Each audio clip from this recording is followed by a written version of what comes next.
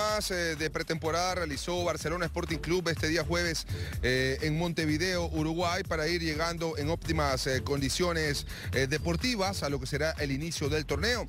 Recordemos que Barcelona por la Liga Pro 2019 tendrá que enfrentar al elenco del Nacional el próximo mes de febrero en el Estadio Monumental.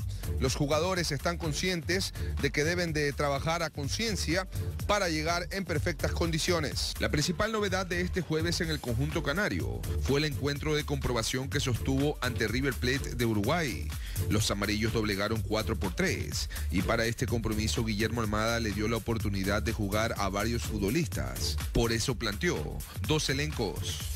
Cristian Alemán abrió el marcador luego de un gran centro de Marcos Caicedo.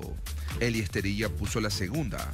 El tercer tanto fue de Daniel García, mientras que el cuarto gol barcelonista fue de la reciente incorporación tricolor, Fidel Martínez. Más allá del resultado, los jugadores canarios saben que hay que continuar con la misma responsabilidad de trabajo en cada práctica venidera. Gracias a Dios por esta nueva temporada, esta nueva oportunidad.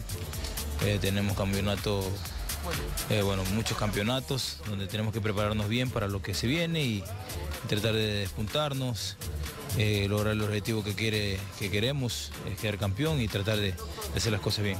Corregirse, corregir muchas cosas, muchos errores que cometimos el año pasado, que no se puede cometer este año y tratar de, enfocarnos en lo que queremos, que, es lograr el objetivo. Hemos estado ahí, se hace buenas pretemporadas, eso es lo, fundamental, tratar de, de, hacer una buena pretemporada para tener la base para el año y, y tratar de llegar con, una buena base acá. ¿no? Cabe indicar que Barcelona, en el inicio de la Liga Pro 2019, tendrá que recibir al Nacional de Quito, partido que se efectuará en el Estadio Monumental de Guayaquil la primera semana de febrero. Los personeros amarillos trabajan incansablemente para llegar a un acuerdo en las próximas horas o en los próximos días con eh, una de las nuevas contrataciones, especialmente en la parte de ofensiva que tiene el conjunto amarillo. Hay muchos nombres que se han dado a través de medios de prensa en Guayaquil, pero evidentemente Guillermo Almada, en una de las entrevistas con Gol TV, dejó entrever que necesitarán unos 3 a 4 refuerzos más